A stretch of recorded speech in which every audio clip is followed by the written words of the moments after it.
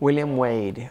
I think William Wade, um, it's a story of its own within the Revolución Latina's program. Um, the first years, it was very difficult. William is very specific with his music. I think he's a musical genius and that that creates problems for him sometimes um, because he's just too good at something and that takes away that human part of how to say something, how to give a note in a way that people are just going to, no, he just says it. That's bad. That doesn't work. Throw that away. I don't know why you have that in your book. No, what are you trying to say to people?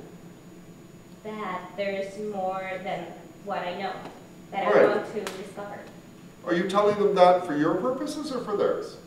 for mine, No. for theirs. If you're just saying it for your purposes, why the hell would you tell them? Because, well, the first time when I sung it, I said that this song for me was more introspective and. I think that's a terrible choice. I think it's important to get a variety of opinions on different things and a variety of approaches, and I think that I bring one facet of that to the table. Because my specific approach to doing things is um, more strict. It comes from a tr- tradition where I learned classical music, where everything is very strict and regimented. And uh, although theater doesn't work that way so much, I think I bring a bit of that to the table. See,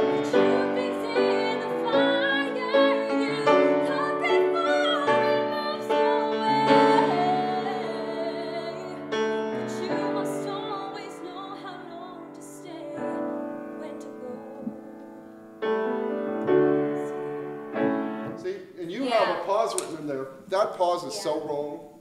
Really? Yeah. I'm just so used to the recording. I think that's why. We So- don't care about, I don't know the recording. I don't know this song. I don't listen to this kind of music. Mm-hmm. But I can tell you dramatically that pause is all wrong because you've just broken the story. People take dramatic pauses all the time. They take this moment, they want this held longer, they whatever. And I'm just like, what are you doing?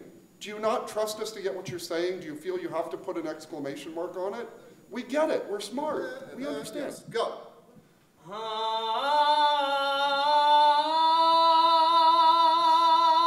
Oh, did you hear the vibrato start to happen?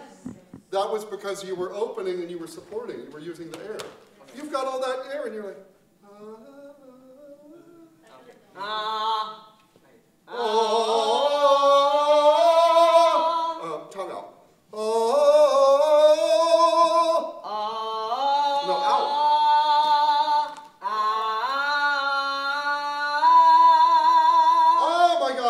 God! It's, oh, it's like Horton hears a who. I knew, I knew.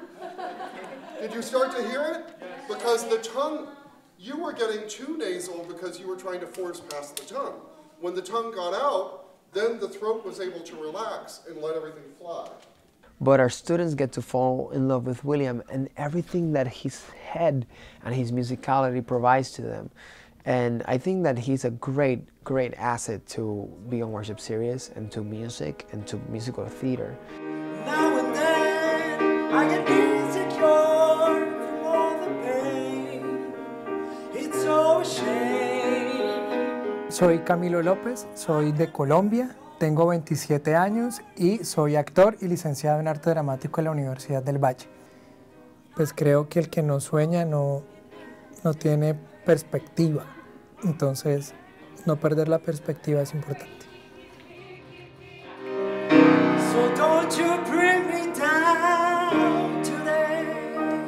Yo, yo me sentía como, oh, wow, estoy como en fame, porque eran como muchos estudiantes con jóvenes, con muchos talentos distintos, eh, queriendo compartir sus experiencias.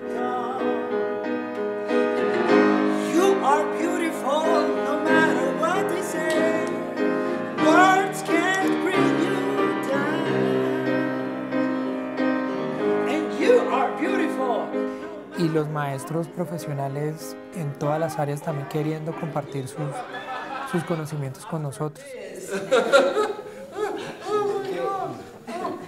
That was so, that was so good.